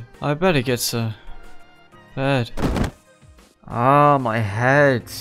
Where am I? Finally, we meet. I've been trying to reach you via your dreams, but you sleep way too lightly. Do you need sleeping medication? No, I don't need. Anyway, who are you? Oh, I'm Neptune. Neptune is in the Neptune, the sea god. That would be me. The reason I've called you here, Mozi, is because the world is in danger. As you're well aware, the late Captain Agmer loosened the seal on an ancient monster. Can you be more specific than ancient monster? Well, it's the Kraken. Did you did you not read the dictionary I gave you? I read it for a grand total of two seconds before remembering I'm a college dropout. Um, no. Anyway, I'd fight it myself, but centuries of maintaining the seals drained me of my power. You're the only one who stands a chance against it. But you only managed to seal it away, and you're a god. Hundreds of years being sealed away has weakened it somewhat. You might not die. Oh yeah, great. No, that's really reassuring. That's the spirit. Now, it's not quite broken through the seal yet. I'll be able to hold it at bay for three or four more weeks at most. Good luck. You're gonna need it. I somehow woke up on the shore, but that's the least of my unanswered questions. I've been tasked by an ocean god to stop an ancient monster that Agma was setting loose in order to rule the world with. I knew something was up when those villagers did what I wanted. There's no way things can go so well and then not go horribly wrong immediately after. If I was going to actually defeat the Kraken, I needed to acquire the strongest weapons and armor I possibly could not to mention a beacon or two. I finally finished the second iron farm, but this golem was like, I can't swim. I was like, you'll be fine, and then he fell in the pool of lava I just made. It didn't look like I was getting more golems anytime soon, because the zombie had despawned. I forgot to name tag him. I was still able to flood the market with more iron, and then enchanted my Neptunium axe. This thing without sharpness hits harder than a sharpness 5 netherite axe. I wanted more Neptunium gear and needed to wait for night anyway, so I began fishing. Even with a gold hook and luck of the sea 3, I was finding fish after fish after... Oh, there's one. Let's see what this bad boy has. Neptune, that's not funny. I was pretty annoyed, so I decided I'd name the new zombie Bad Breath. I was so mad, that's like a 6 year old's best insult. It turned out I wouldn't even need to use the name tag because this zombie picked up a block of glass anyway. Never mind. I got another one and I got another one, and after receiving his name, he really wanted to die to my Thorns armor. Turns out he was holding a piece of rotten flesh anyway, so he didn't even need the name tag, but his name is now Bad Breath on all legal documents, and I can't be bothered to change them. After fighting a couple monsters, I patched up the mob grinder, and then did what else except sell iron. And books. I'm getting desperate for XP, can you tell? While my mob farm does the exact opposite of giving me tons of XP, it had stored up a decent amount of gunpowder. I crafted a stack of TNT, enchanted these boots with feather falling 3, and went to the nether. I, I couldn't think of any other way to get that to rhyme. I needed to dig down to mine for ancient debris, but I kept running into this lava lake. Eventually I found a spot that didn't lead to a fiery pit and began digging a huge tunnel, which I then filled with explosives. And of course, I had a great time blowing them all up. Wow, look at that nether thing. All in all, I found a decent amount of ancient debris. I got 11 pieces in total. I chucked them in the furnace and then fished while I waited. I got a Neptune's bounty on my first catch. And do you want to know what I found inside? A fillet knife.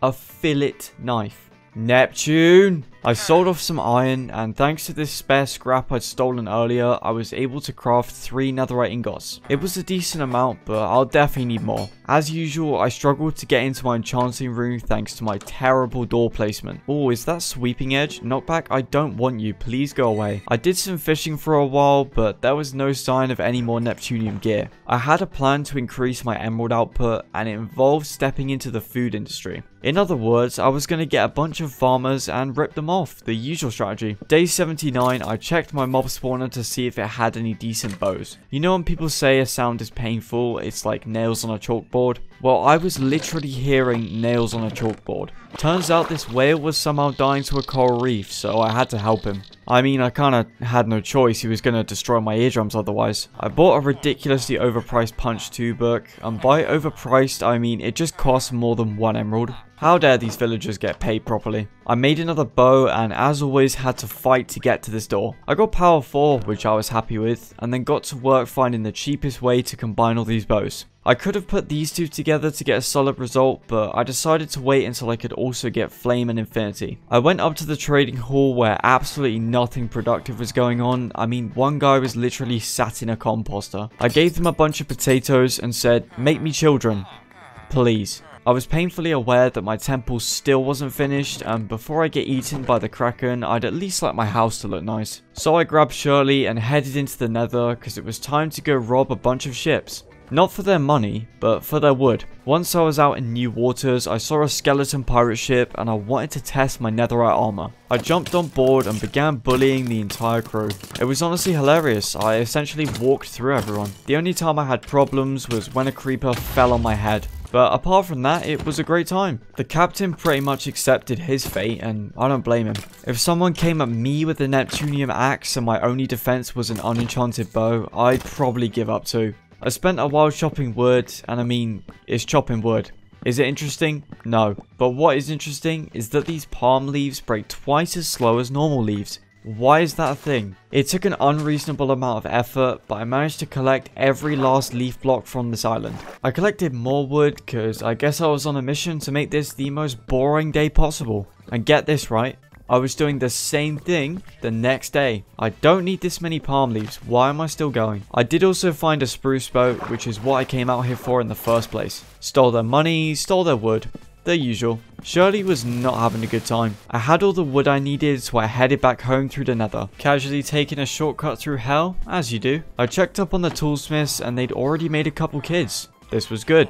This was really good. Soon I won't just be scamming villagers, I'll be scamming their entire families. It was time to finally fix something that had been an issue for way too long. No, not my moral compass. I'm talking about the roof of the villager breeder. But as I started construction, I saw a baby zombie riding a chicken. Oh yeah, and a, and a creeper. I grabbed a lead and made my way over to the mob farm. I dealt with the problem, you know, the child, and then brought the chicken over to Banjo. I think I've been a good mate, but he needs someone he can relate to more. I named the new chicken Kazooie and then got to work building the roof. There were no more chicken related distractions and by the end of the day I was done. I harvested all my potatoes because I was still gonna need more villagers and try to make a lectern with a crafting table.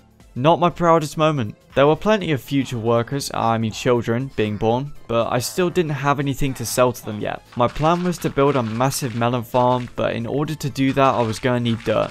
Like a lot of dirt. I started work on the fields, and even though I barely had any seeds, what I did have was a mountain of fertilizer. I didn't want to light it up with torches, so instead I went out to the ocean monument to borrow some of their sea lanterns. Except he needs silk touch, so I just smashed a light, and now the police are getting called. I should I should probably get out of here. Operation Steal the Sea Lanterns had failed, but have you heard of Operation Steal the Shroom Lights? I vaporized this piglin before collecting the 4 shroom lights I could actually reach. The rest of the Crimson Forest was at the top of a 50 foot cliff, but once I eventually got up, there was so much nature to exploit. In order to get back down, I had to be extremely careful. Nah, I just leapt off and hoped I wouldn't die. Huh, a skeleton and a creeper. I could get a music disc. Another rainy day, just me and this spider hanging out, working on the melon farm. Then he got in the way and I, uh, killed him. I felt kind of bad about that. I went to visit the villagers and, oh, they grow up so fast. No, seriously, they were babies literally 5 minutes ago. I leveled them up so that they'd start buying melons and then paid a visit to the iron farm, which of course resulted in me waking everyone up in order to force them to trade with me. I finished off the melon farm and soon it's going to generate a huge amount of money. I'm going to need that if I'm going to get a max beacon up and running before the horror of the sea swings by for a visit. I was still holding out hope for some more Neptunium gear, but I only found fish. I finally got a sweeping edge sword that didn't have knockback and it even came with looting 2 as a bonus. Day 85 I was trying to get a librarian in order to get some missing enchantments and this is where I learned what true pain was. Because of all the barrels I used for my breeder, all this guy wanted to do was become a fisherman. Well, at least things can't get any worse, why am I not surprised? I eventually decided these villagers were a lost cause and headed up to my trading hall instead. Thanks to the toolsmiths telling the farmers about how I saved them from being zombies, they were more than happy to pay me twice the usual price for melons. Should I stop exploiting their feelings for my own gain? I mean, I could, but I don't want to. There was a spare villager in here who I decided to make into a librarian to hopefully sell me either looting 2 or looting 3. Guess what he gave me? A million points to those of you that guessed, not looting 2 or looting 3. Night fell and he was like, oh, I'm getting a bit tired now. I said, no, I'm tired of you, but you're going to sell me this book. But his will to be annoying was far greater than I could have imagined, and after staying up the whole night with no results, I gave up. I did at least have a decent amount of levels thanks to my questionable business practices. I managed to get Feather Falling 3 on these boots, and by some miracle managed to get a Looting 2 sword. I combined these boots to get Feather Falling 4, and then, and then, why? Why? With the levels I had left, I upgraded my Neptunium axe to efficiency 5 so that I could harvest my melons at absolutely breakneck speed. I don't know if this is the appropriate thing to do with a long lost Neptunium war axe, but I'm gonna do it anyway. The villagers were practically throwing their money at me at this point, and I used the levels I got to combine these two swords. I couldn't add the result to my main sword yet, but at least I could actually add gear together this time. I'm looking at you, Feather Falling Boots. Even though I was still missing Flame and Infinity, I decided to combine these bows anyway. Get out my bed. I was gonna need more netherite, and thanks to all the wool I've been stockpiling, I was able to craft a ton of beds. This villager walked into the nether portal, and I could help him, but I have better things to do. I couldn't find my old ancient debris mine, so I had to start a new one. It's a good job there's no lava pools around. What, were you expecting me to fall in? Because you'd be exactly right. I mean, I lived. It was just annoying. I ended up trying to find my old mine again, and this time actually succeeded. And then I mined for ancient debris. Shocker. I got 12 pieces, which I was happy with, and on my way back out, I found a hoglin burning to death. Unlucky mate. As I made my way out, this guy decided he didn't like being on the ground anymore. I was gonna knock him off, but he jump scared me so bad I ended up dropping my pistol. Once I got back, I harvested my melons and potatoes like usual, but when I went up to the trading hall, this guy saw his chance for freedom. This will stop him. Probably should have seen that coming. I spent a while wondering what I should do with him, and then realized I don't care. I have all these farmers now, so losing one villager doesn't really matter. I crafted three more netherite ingots and used them to convert my boots and the legendary Picassly. My sword wasn't quite perfect, so I won't convert it just yet. My house still didn't have a roof, and I wanted to fix that. Too bad I picked the most expensive roof design imaginable, and of course ended up running out of wood. I also spent some time changing the cobblestone bridge to the mob grinder into a much better looking boardwalk. I grabbed a ton of arrows from my mob spawner because tomorrow I was going to fight the ender dragon. I also added mending to my pistol and then woke this guy up in the middle of the night in order to get it fixed. Day 90 I grabbed a ton of blocks, made some ender pearls and set out with Shirley. To say I was tight on time is like saying water is wet. I had at most 10 days before the kraken broke loose and as things stood I was going to lose. Not even lose, I was going to get annihilated. That didn't stop me from making a detour in order to gather some spruce wood. Where was I? Once I found the stronghold, it wasn't exactly much of a challenge to get to the portal room. I placed in the Eyes of Ender, and without any further thought, walked straight in. I spawned underground, and once I dug my way out, I started taking out the crystal. I started taking out the crystal. I started taking out the... Finally, I used both my bow and my pistol, and before long, all the crystals were down. I don't know why, but my bow aim can switch from god mode to absolute potato, basically at random. Once the dragon was down to her final sliver of health, I readied my pistol and took the shot. She took a while, but eventually she did actually die. I felt pretty cool with this camera angle, not gonna lie. After happily running around scooping up the remains of her soul, I collected the dragon egg. The next step was to go to the outer end, so I had to fight a few of the locals to get ender pearls. I bridged over to the gateway, badly, and then headed in. I found this disgusting creature, and it got exactly what it deserved. I was expecting a long, painful search for the Elytra, but soon I found not one, but two end cities. I was half expecting to literally just explode on the spot, because there was no way I was getting this lucky. The guards at the entrance said I couldn't go in.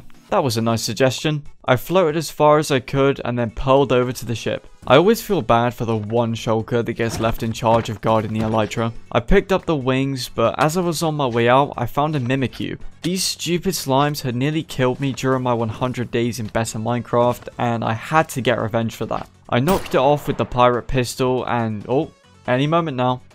Have fun! I didn't forget the dragon head, which is honestly pretty surprising knowing me, and then I flew over to the second city. Two is always better than one, and that principle applies when robbing people. Life lessons with Mozi, just not good ones. Oh, he's playing peekaboo, that's cute.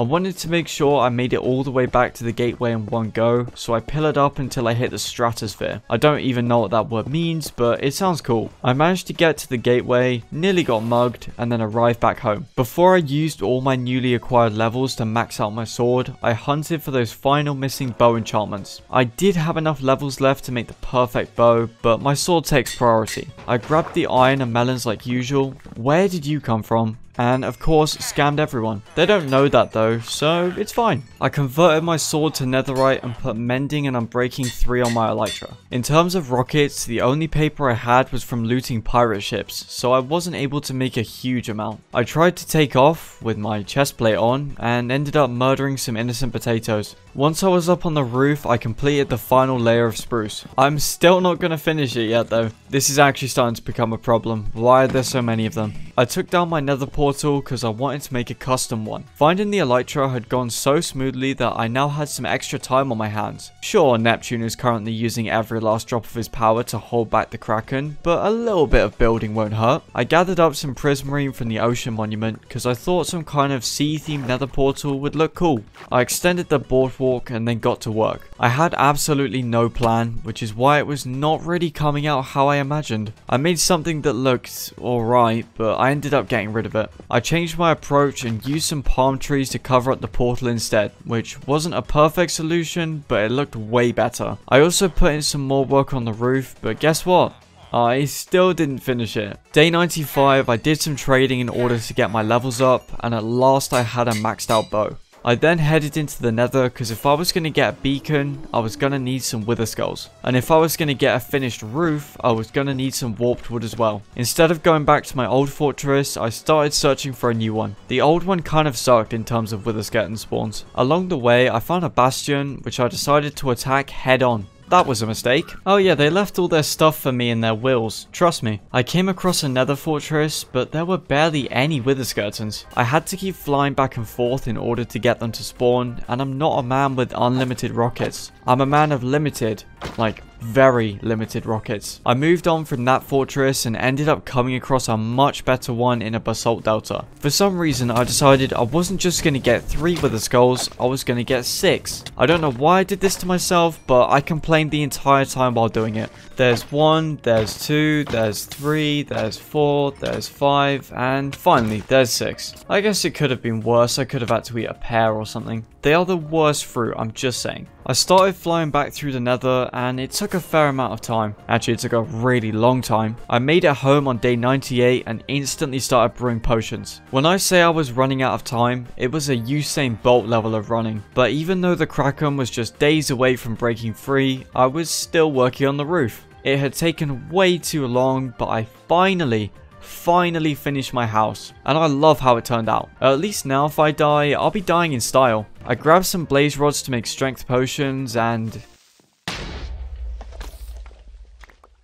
You're now witnessing someone's soul shrivel up and die before your very eyes. My treasure chest had been among the ones destroyed, and I only had 5 minutes to save everything before 98 days of progress despawned in front of me. I did the only logical thing and stood in the pile throwing my stuff into random chests. Even though my storage was now a complete mess, I managed to not lose any of my items. With that problem sorted and my heart rate back in the double digits, I set out in search of a place to fight the Wither. Fighting it on my island would be a recipe for disaster, and trying to fight it in the ocean would be an even bigger disaster. I stumbled across the old skeleton pirate ship that I'd saved Lewis the Parrot from, and knew this was the best area I'd be able to find. I checked to make sure there weren't any leftover enemies, and then spawned everyone's favourite three-headed monstrosity. I whittled down its health, but then it sent me flying off the ship. Except it came down to fight me head on, which kinda defeats the purpose of knocking me off in the first place, but I'm not complaining. I'll happily take a free nether star. It turned out there were a couple enemies lying in wait below decks, but I took care of them. The ship was close to falling to pieces, but I still had a rematch due with the Wither. Luckily, we had some kind of weird unspoken agreement to stay on the least destroyed part of the boat, and things ended exactly how you'd expect. I raced home and crafted the beacons. Thanks to all the treasure I've been saving up for the past 99 days, I had enough to make two maxed out beacons. Neptune had said he could buy me 3 or 4 weeks at most, and he somehow managed to pull it off. I picked resistance 2, strength, and regeneration, which would give me the best possible chance of survival. I was well aware that this night could be my last. Day 100, make no mistake, the Kraken had arrived. Its huge tentacles threatened to crush me in a single blow. I tried to reposition behind my house, but it slithered after me, killing Swift in the process. I fled into the water, but this was the Kraken's natural habitat. It began tossing me around, toying with me, like I was nothing more than prey it was about to devour. I managed to keep it at bay with my bow, but slowly and surely it closed the gap between us. It got me between its jaws, and the only reason I was still alive was thanks to the beacons I had worked so hard to get. I started landing huge hits with my bow and got into a deadly rhythm. As the Kraken reached desperation, it rushed in. This was it. It once again clamped down with the crushing weight of its jaw, but I was the one who dealt the final blow. Plus, if I died, who would be here to scam the villagers? Banjo, I did it. I saved the island. Ah, that's kind of awkward. I piled up my diamonds in front of my temple and then converted the Kraken's tentacles into sushi. That's right, the world's most feared monster was now rolled up in a nice little ball of rice. And I had survived 100 days in an ocean-only world. If you enjoyed this video, it would mean a lot if you dropped a like and subscribed. It has taken me over a month of work to make. Oh yeah, I wonder how the sushi tastes. Well, I'm off to go conquer the universe.